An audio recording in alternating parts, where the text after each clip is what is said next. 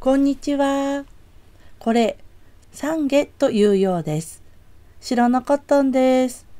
先日、花祭りに遭遇しました。4月の8日はお釈迦様の誕生日なんですね。お坊さんたちの行列があって、そのお坊さんたちが花びらをかたどった紙のカードを巻いていました。懺悔というものらしいです。お友達と一緒に拾いました。デザインが素敵ですね。今日は iPad で LINE スタンプメーカーを使って LINE のスタンプを作ろうと思ってます。アニメーションスタンプが作れるようになったようですね。まだベータ版ですが使ってみようと思ってます。iPad に LINE スタンプメーカーをインストールしてアニメーションスタンプを作成します。今回はこの VTuber はなちゃんを使って作ります。あ、ちなみにこの VTuber はなちゃんは家族が YouTube をやっている私のキャラを縫ってくれたぬいちゃんです。似てますか？今回は試しにこのぬいちゃんでアニメーションスタンプを作ってみようと思っています。こっそり作って家族に送ってみようと思っているわけですね、私。もし、ぬいちゃんなどを使う場合は、そのキャラクターの著作権などもちょっと注意してみてあげてくださいね。よろしくお願いします。うちにはいないんですけれども、お家で飼っているワンちゃんや猫ちゃんなどでもできると思いますので、ぜひチャレンジしてみて。LINE スタンプメーカーでは動画ファイルを読み込んで、動画の使いたい部分をトリミングし、イメージに合わせてデコフレームやステッカーなどを挿入して作成します。現在はアニメーションスタンプは8個か16個で申請ができるようになっています。今回は VTuber はなちゃんのぬいちゃんを iPad で撮影しています。背景には色画用紙を置きまして撮影するといいと思います。えー、アニメーションになりますので少し動かしてあげて撮影するといいですね。長さは10秒前後でいいと思いますよ。自分の手などが入らないようにして撮影するといいかもしれません。細かな動きはつけられませんけれども楽しめるんではないでしょうか。では、例えばですね、こんな感じで撮影しています。ポン。はい、えこんな感じですね。こんな風に棒か何かでちょこちょこと動かして動画撮ってくれるといいですよ。iPad でカメラを起動してあげて撮影してあげてください。LINE スタンプメーカーを起動します。今日は私ドックから起動します。LINE スタンプメーカーが起動してきました。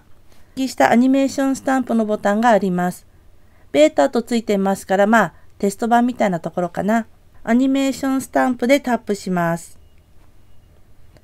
ここ。緑色のプラスのところをタップします。使いたい動画をタップします。こうしますと動いてるの分かりますか？?4 秒で今設定されています。ここを自分で好きな秒数に設定してあげてください。今日はこのままでいいと思います。右角上の完了でタップします。画面の下、デコフレームを使ってみようかと思っています。ではデコフレームでタップします。右下に緑色の下向いた矢印がついているのはまだこの iPad に使えるようにセットされていないという意味になります。どれを使うかこのように探してください。どれでもいいよ。え、今日これ使おうかな。タップすると右下にある緑の丸の矢印のところどんなマークになるか見てくださいね。ではタップします。はい、え入手が完了し、はっきり見えるようになり、右角を下に緑の丸の下向いた矢印のボタンが消えたことを確認しましょう。ではタップします。はい、こんな感じです。かわいいですね。でも、ちょっと横からつついてる棒も見えるので、このままピンチアウトしますと写真が大きくなります。一本指でドラッグです。このようにしてあげると、つっついてる棒のところが見えなくなっていいかもしれません。ピンチにすると、よいしょ、バストアップの構図かな。どう？こんな感じで。ひねりを入れてあげると回転もできます。こんな感じです。どうですか？かわいい。デコフレームは動きますので楽しいですね。デコフレームの右にある小さなバツをタップして、デコフレームのウィンドウを閉じましょう。ではこのままステッカーでちょっと飾っていきましょう。ではステッカーでタップします。ステッカーの種類がたくさんあります。例えばここでタップするとこんな感じ。えいろんなステッカーがありますので、良さそうなステッカーを探してあげてください。今日はこれ、ワクワクを使っていこうと思っています。この使いたいステッカーをタップします。ステッカーは残念ながら動くものではありません。ピンチイン、ピンチアウト、回転、ドラッグしてあげて位置を整えてあげてください。では、このまま少し回転し、この左上の方に持ってこようかな。ちょっとなんか薄暗く見えるこの部分は透明になってしまうところです。見えるとこ、例えばこれ動かすと字が見えなくなっちゃいます。ここは字がなくなっちゃいます。なので字が見えるように位置を整えてあげてくださいね。こんな感じにしようかな。もう一つステッカーが必要であれば入れてあげてください。今日はこれでいいかなと思っています。何もないところでタップしてあげて、いかがでしょうか。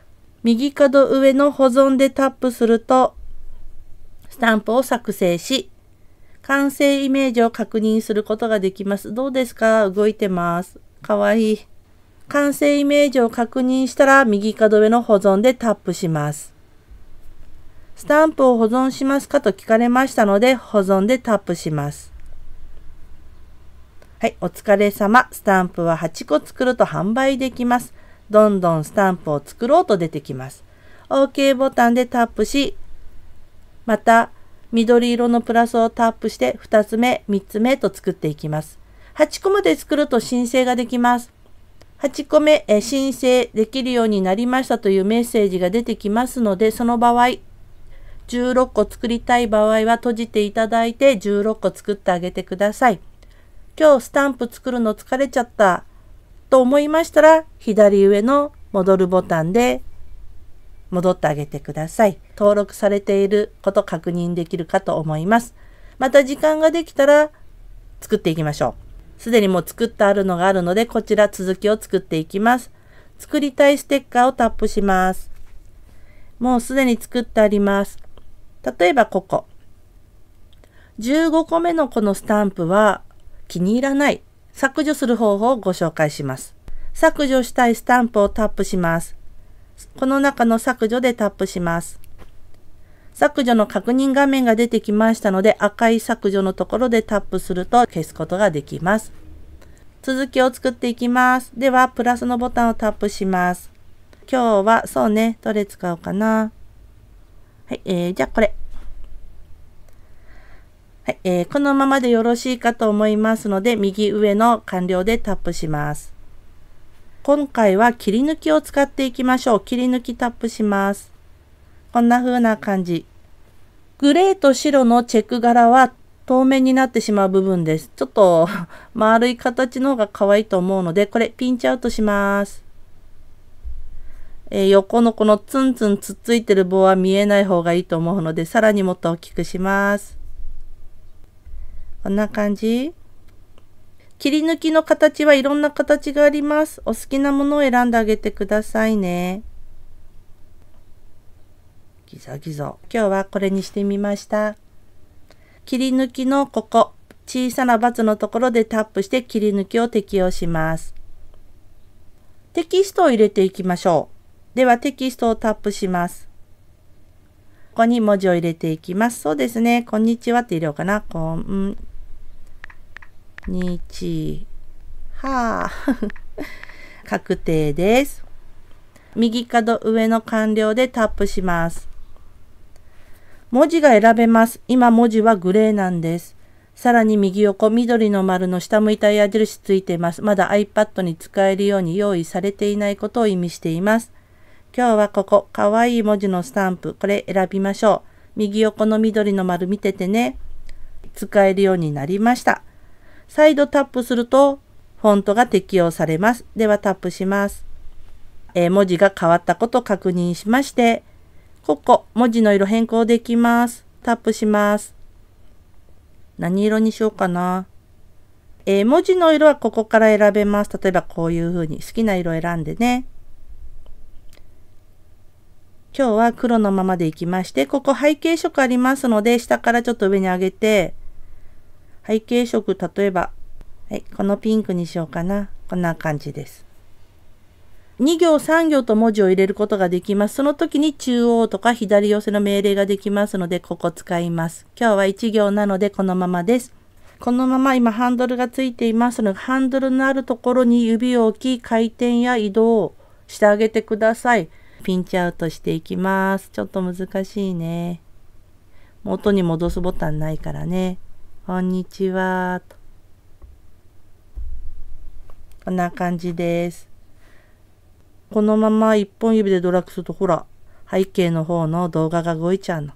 でもちょっとこんにちはの文字のとこに引っかかんない程度にこの辺にちょっと下下げます。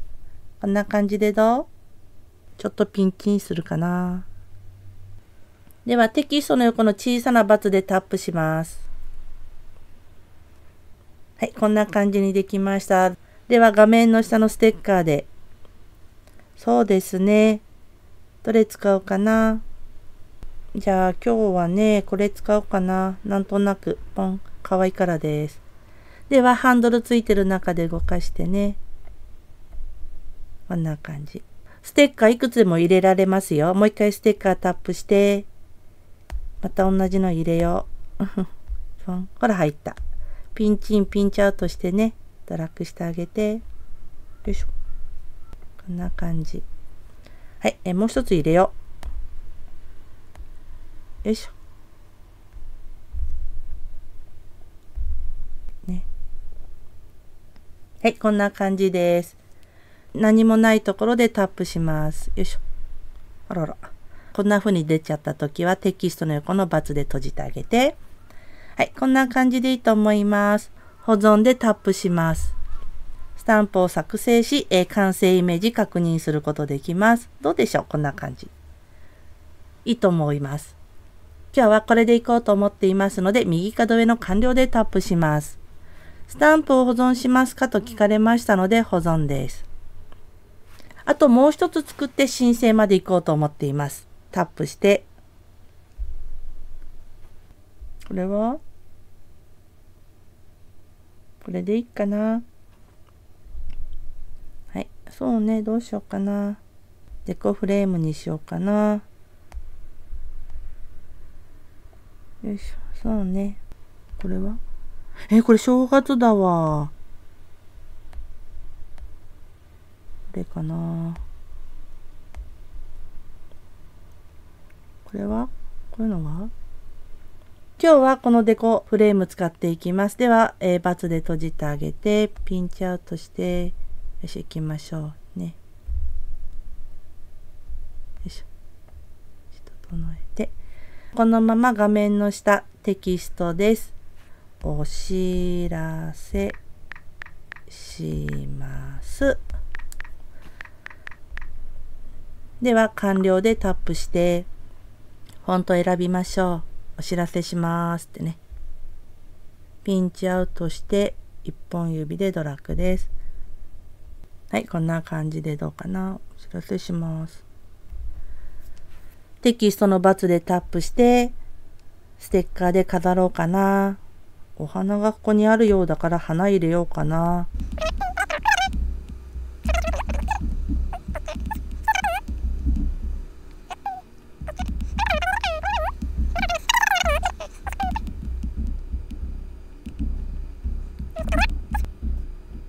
では何もないところタップして、では右角上の保存でタップします。完成イメージ確認しましょう。こんな感じです。では、右角上の保存でタップします。スタンプを保存しますか？保存でタップします。これで16個できました。ここ。タイトル入れていきましょう。タップします。では V 中、よいしょ。U、ね、BER、VTuber、花、じゃ、ん、スタンプ。タイトル、40文字まで入れられますので、わかるような名前にしてあげてね。完了でタップします。説明文書入れましょう。160文字まで入れられます。作ったスタン。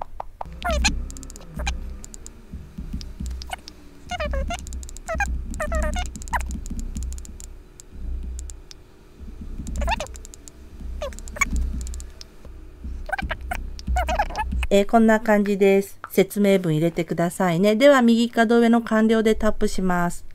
えー、内容を確認し、販売申請のボタンをタップします。8個のスタンプですか ?16 個のスタンプですかと聞いていきます。今日は16個のスタンプです。ここで順番を決めます。モーニング。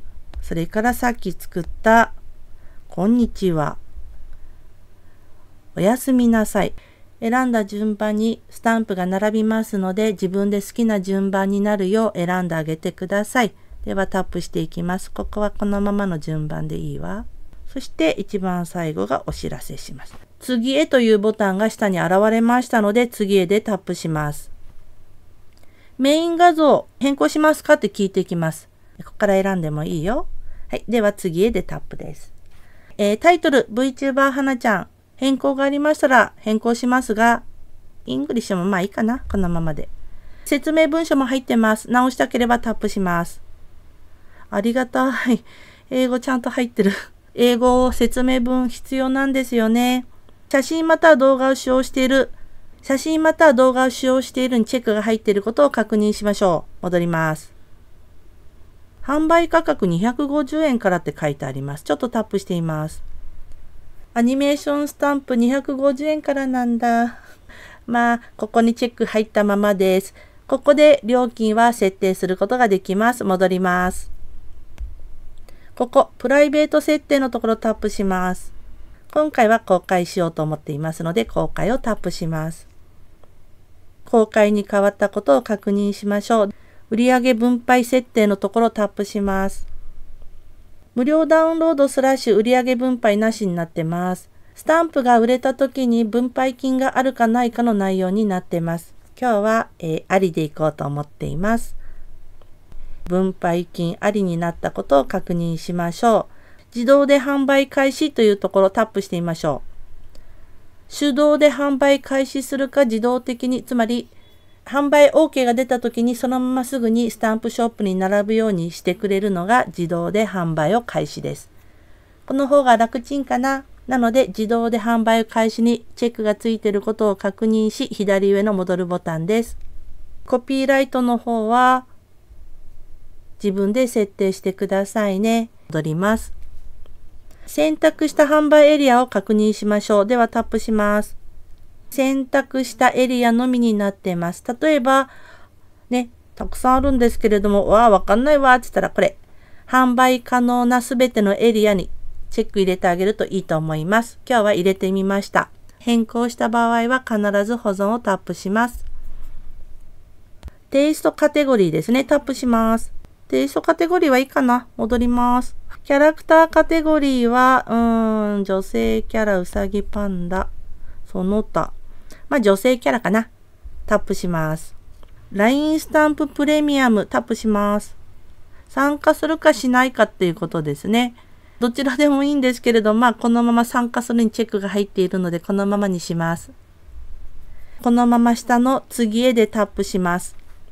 スタンプは購入が必要です。分配金いるよって命令したからだね。自分で作ったスタンプ自分で買うんだよって意味になります。OK です。こんな感じで、よいしょ、ずるずる、ショップに見えるようになるよという内容ですね。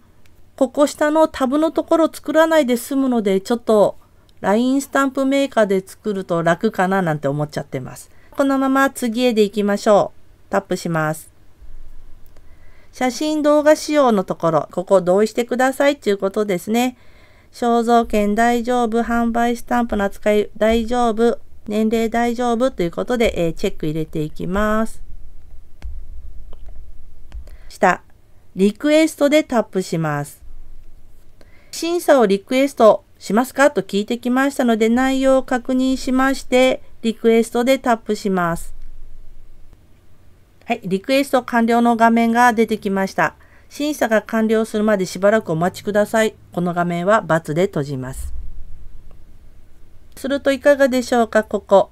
申請中のところはここ、審査待ち状態になっていることを確認しましょう。あとは審査の結果を待つばかりという内容です。申請が通った後については後でまたご紹介できればいいなと思っております。今日はここまでになります。皆さんも LINE スタンプ楽しく作ってみませんか ?LINE スタンプメーカーを使うと意外にも簡単にできてしまうかもしれませんので、ぜひお時間があればチャレンジしてみてくださいね。ご視聴どうもありがとうございました。